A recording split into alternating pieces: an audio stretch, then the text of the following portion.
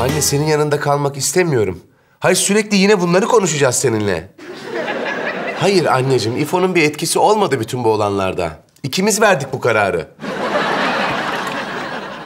Anne, zaten zor bir dönem geçiriyorum. Ne olur biraz da sen ya... Anne lütfen artık konuşmak istemiyorum bunları ya. Tamam anneciğim hadi görüşürüz tamam. Tamam oldu. Görüşürüz hadi.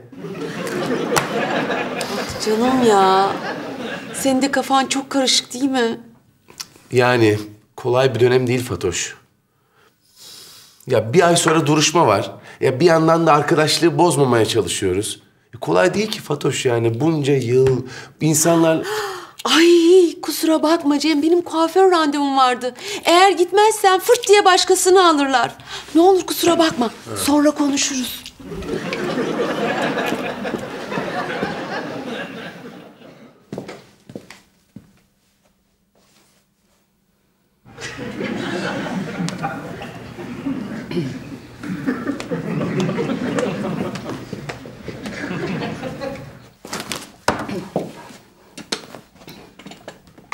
İyi günler. İyi günler. Ya Şayka sen niye bana tuhaf davranıyorsun? Tuhaf mı? Şaşırdım. Hayır biz yakınız sanıyordum ben. Bazı şeyleri seninle konuşmak istiyordum Şayka. Başladık yine. Ya Cemoş, ben sana şarkımla gerekli mesajı veremedim mi? Ya anlamadım ki yani ben ne, ne, ne oluyor anlamadım yani. Hayır Aslı senin arkadaşın diye mi araya girmek istemiyorsun? Ne araya girmesi ya? Ben araya girecek kadın mıyım oğlum?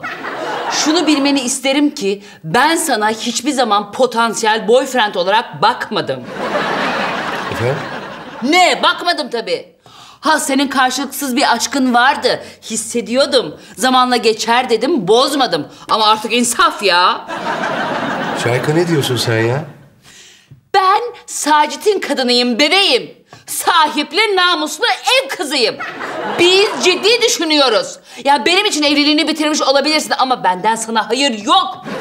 Var ya Sacit bunu bir duyarsa senin kulaklarını kesip burnuna diker. Kemiklerinden çorba yapar. Aa nedir ya ikide bir gel odaya kapanalım. Yok yemeğe gidelim yok konuşmamız lazım. Oo, bibidonu biraz kontrol et oğlum. Rahat mısın sen? Çüş! İşte ben insanı böyle namusumla döverim.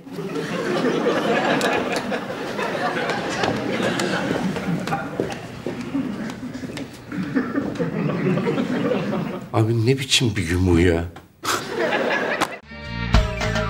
Anadolu'dan kop gel düz git Ankara'yı